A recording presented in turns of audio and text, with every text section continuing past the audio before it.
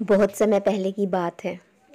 गाँव से बाहर एक जंगल में एक झोपड़ी थी। उस झोपड़ी में एक बुढ़िया रहा करती थी। वो अपनी ज़िंदगी गुजर बसर कर रही थी, क्योंकि वो गरीब तो थी। साथ ही साथ उसके पास कोई अपना न था तो वो वहीं पर रहती थी। उसके पास खेती का एक छोटा सा टुकड़ा था। जिसमें वो थोड़ी सी फ़सल करके अपनी गुजर बसर करती थी। ये वक्त सर्दियों की बारिश का था, जहाँ पर तूफ़ान के साथ सर्द हवाएँ चल रही थी और उसी में तेज बारिश आ गई। बुढ़िया बड़ी परेशान। वो कहती कि करूँ तो क्या करूँ? एक तो सर्दी, ऊपर से ये बारिश, उस बारिश के रहते ही एक शेर जंगल से बाहर आ गया। वो बारिश से अपनी जान बचाने के लिए ना जाने कैसे उस झोपड़ी के पास आ गया। वो उसके झोपड़ी के पीछे जैसे ही बैठा तो अंदर से बुढ़िया बोली, हे राम भगवान जी, क्या करूँ? ना तो इस जंगल में मुझे शेर से डर लगता है, ना बाघ से। किंतु ये टपका तो मेरी जान लेके रहेगा। कब से टप टप हो रही है। हे भगवान, इस टपके को रोक ले। शेर ने ये सब कुछ सुना। सुनकर थोड़ा घबराया। बुढ़िया ने फिर अंदर से बोला, हे भगवान, इस टपके से मेरी जान बचा। इससे अच्छा तो मुझे कोई शेर खा जाए। इस टपके ने तो मुझे परेशान किया हुआ है। एक तो मैं बूढ़ी औरत, सर्दी वैसे हो रही है। मेरे पास तो कुछ अच्छा है भी नहीं। ना मेरे पास कोई छाता है जो मैं टपके से बच सकूँ। शेर ने यह सब सुना। जैसे ही शेर ने यह सब सुना तो शेर थोड़ा घबरा गया। उसने सोचा, ये टपका आखिर है क्या भला?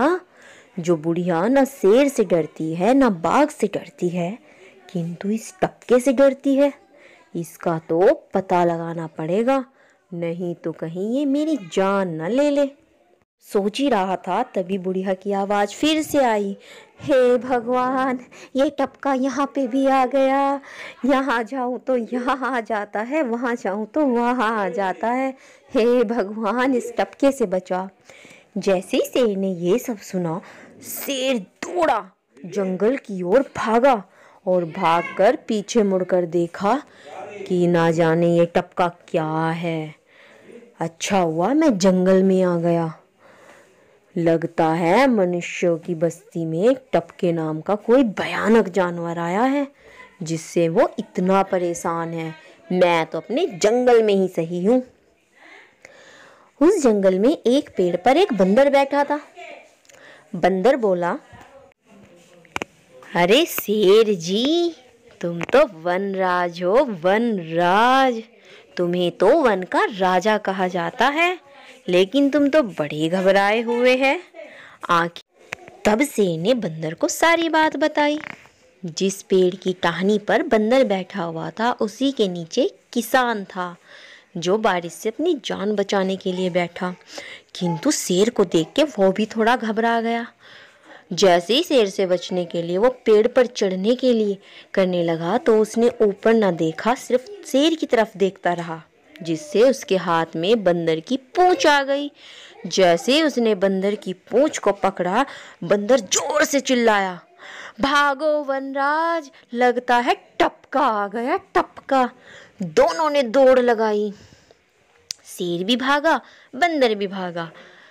किंतु किसान बड़ा खुश हुआ, बोला अच्छा हुआ, भाग गया। जहाँ शेर और बंदर जंगल की ओर भागे, वहीं मनुष्य गाँव की तरफ़ भागा।